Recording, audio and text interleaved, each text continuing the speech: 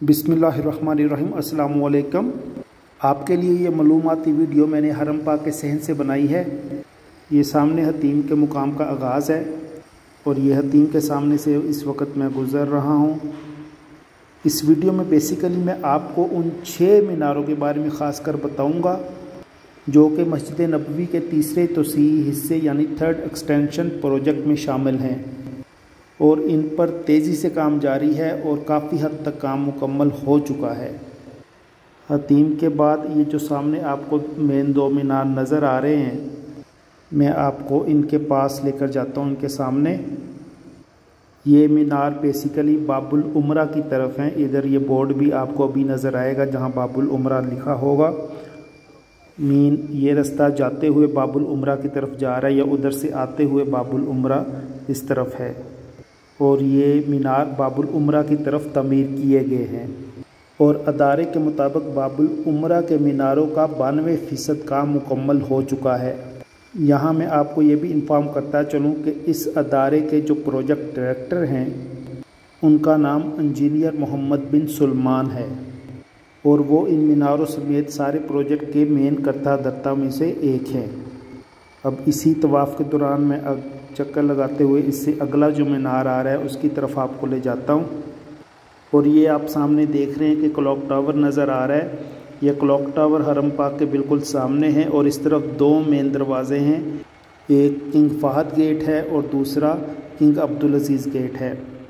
और ये दो मीनार जिस गेट की तरफ़ वाक़ है, ये उस बोर्ड का नाम लिखा हुआ है। ये मैं आपको जूम करके दिखाता हूँ।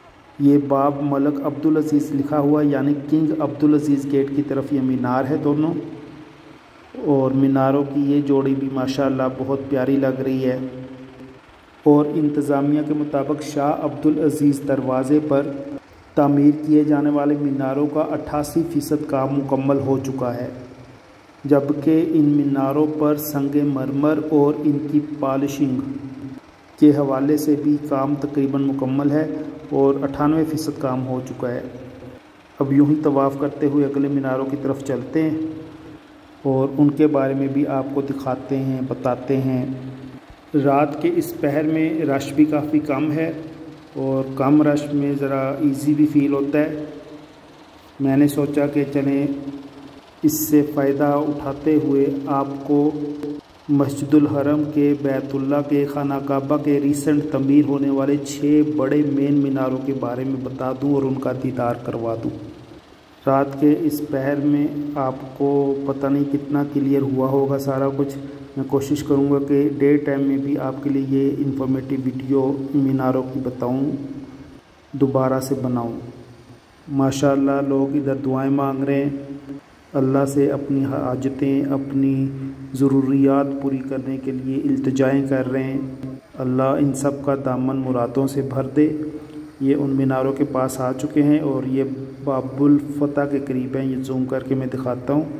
ये इधर बाबुल फ़तह लिखा हुआ है। ये इस तरफ़ ये मीनार हैं, बाबुल फ़तह की तरफ़। और एडमिनिस्ट्रेशन के मुताबिक, इस प्रोजेक्ट की मैनेजमेंट के मुताबिक बाबुल फ़तह के इन दोनों मीनारों का काम तकरीबन अट्ठासी फ़ीसद, सतासी, अठासी फ़ीसद हो चुका है।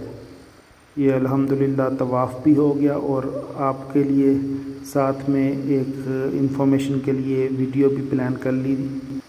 आपको ये एफ़र्ट अच्छी लगी है तो दुआओं में याद रखिएगा और इस वीडियो को दूसरों से शेयर भी कीजिएगा।